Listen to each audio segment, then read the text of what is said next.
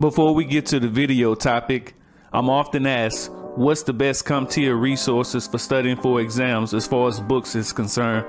In my humble opinion, the A Plus book by David L. Prowse is the best, as well as the Network Plus book by Emmett Dulaney is another good best. The good thing about the exam cram books that'll get you straight to the point, like if you're in a crunch for studying, you don't have a lot of time to study, the exam cram will do just fine.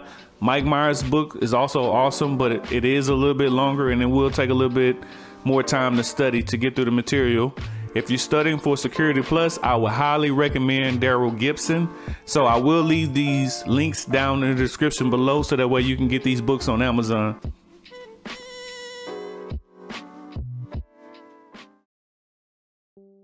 Hey, what's going on guys? It's your boy Banner Boy Games back with another video.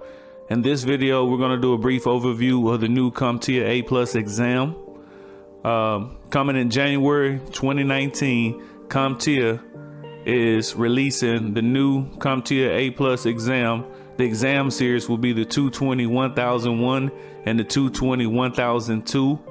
Uh, like I said, it will be released January 15, 2019.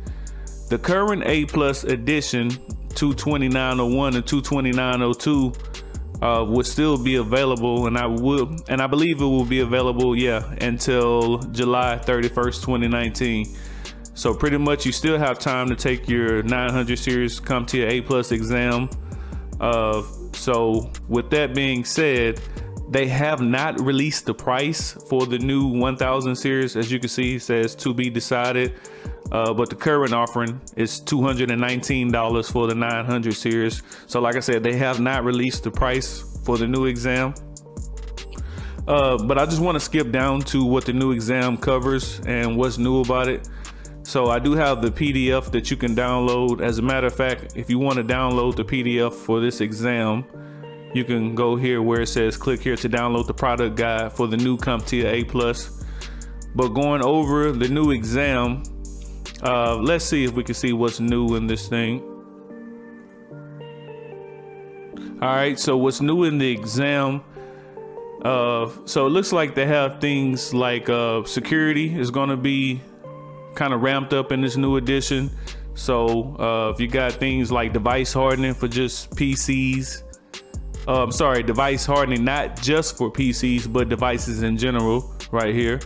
Um, so instead of it being just a heavily focused securing PC type of exam, it looks like they're gonna get into securing other devices besides PCs. Uh, another thing that caught my eye that's new in this exam is scripting basics. One thing that I can tell you working in IT, scripting will make your life and your job a lot easier. Instead of have to, having to manually do things, scripting can make your life a lot easy.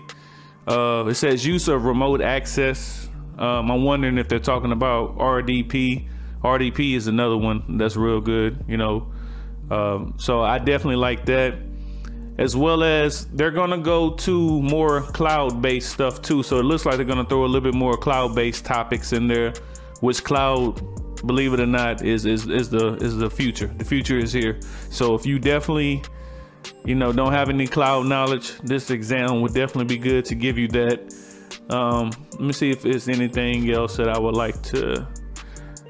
Uh, for the most part, just looking at it, change management. Change management is another one working in IT. So, you know, when you're going through any kind of change over the network or any change in your infrastructure or the way you're doing things, change management definitely I know plays affect a lot in my organization. So change management is real good. Let me see. Disaster prevention and recovery is another huge one that I cannot overemphasize enough. So I definitely, so far looking at this exam, this exam definitely looks like it's more so, it covers the things that you need to know today. Uh, which is definitely good instead of a lot of it being so PC based like the old traditional exams. This one is definitely uh, gonna have you future proof. So yeah, like I said, I don't want to make this video too long. This is just a brief overview. If I figure out some more in-depth information regarding this new 1000 series, I will be doing another video. But in the meantime, make sure you like, comment, subscribe. Make sure you hit that notification bell so that way you can get these notifications when I do these videos. Again, I want to thank you guys for your support.